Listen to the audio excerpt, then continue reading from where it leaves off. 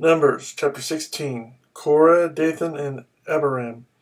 Korah, son of Izhar, the son of Kohath, the son of Levi, and certain Reubenites, Dathan and Abiram, sons of Eliab, and On, son of Peleth, became insolent and rose up against Moses.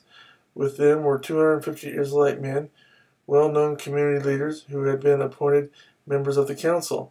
They came as a group to oppose Moses and Aaron and said to them, You have gone too far. The whole community is holy, every one of them, and the Lord is with them. Why then do you set yourselves above the Lord's assembly? When Moses heard this, he fell face down. Then he said to Korah and all his followers, In the morning the Lord will show who belongs to him and who is holy, and he will have that person come near him. The man he chooses he will cause to come near him. You, Korah, and all your followers are to do this. Take censers, and tomorrow put fire and incense in them before the Lord. The man the Lord chooses will be the one who is holy. You Levites have gone too far. Moses also said to Korah, Now listen, you Levites, isn't it enough for you that the God of Israel has separated you from the rest of the Israelite community and brought you near himself to do the work at the Lord's tabernacle and to stand before the community and minister to them? He has brought you and all your fellow Levites near himself, but now you are trying to get the priesthood too? It is against the Lord that you and all your followers have banded together. Who is Aaron that you should grumble against him?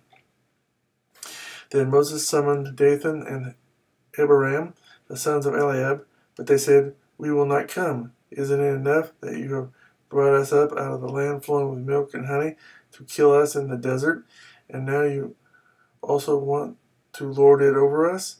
Moreover, you haven't brought us into a land flowing with milk and honey, or given us an inheritance of fields and vineyards. Will you gouge out the eyes of these men? No, we will not come. Then Moses became very angry and said to the Lord, Do not accept their offering. I have not taken so much as a donkey from them, nor have I wronged any of them. Moses said to Korah, You and all your followers are to appear before the Lord tomorrow you and they and Aaron.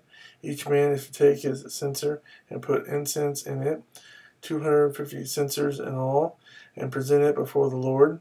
You and Aaron are to present your censers also. So each man took his censer, put fire and incense in it, and stood with Moses and Aaron at the entrance to the tent of meeting. When Korah had gathered all his followers in opposition to them at the entrance to the tent of meeting, the glory of the Lord appeared to the entire assembly. The Lord said to Moses and Aaron, Separate yourselves from this assembly, so I can put an end to them at once. But Moses and Aaron fell face down and cried out, O God, God of the spirits of all mankind, will you be angry with the entire assembly when only one man sins?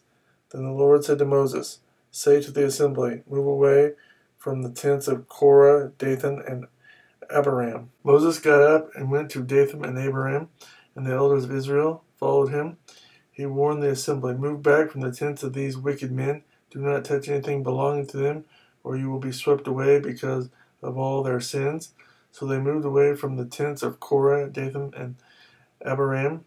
Dathan and Abiram had come out and were standing with their wives, children, and little ones at the entrances to their tents. Then Moses said, This is how you will know that the Lord has sent me to do all these things, and that it was not my idea. If these men die a natural death and experience only what usually happens to men, then the Lord has not sent me.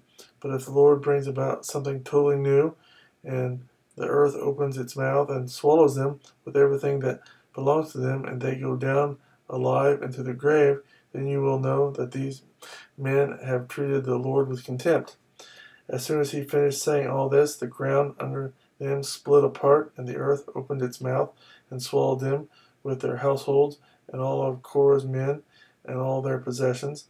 They went down alive into the grave with everything they owned. The earth closed over them, and they perished and were gone from the community. At their cries, all the Israelites around them fled, shouting, The earth is going to swallow us too.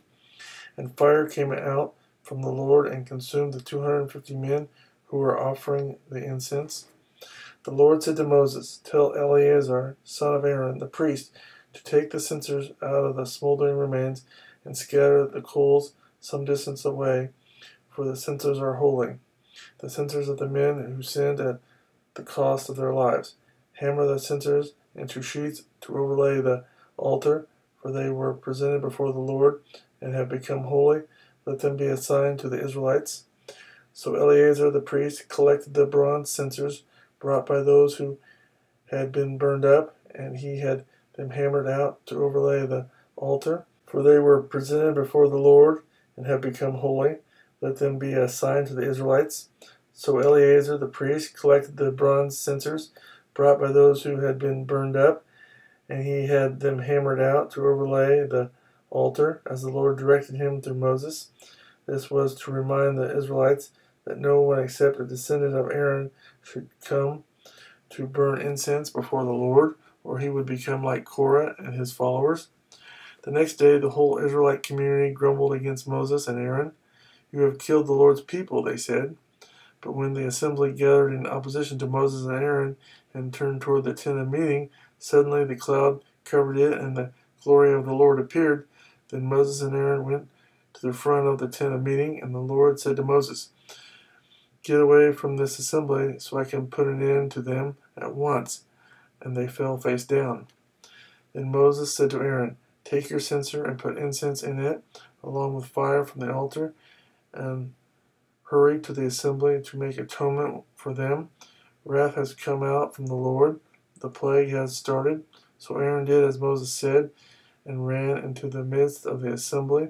The plague had already started among the people, but Aaron offered the incense and made atonement for them. He stood between the living and the dead, and the plague stopped, but 14,700 people died from the plague, in addition to those who had died because of Korah. Then Aaron returned to Moses at the entrance to the tent of meeting, for the plague had stopped.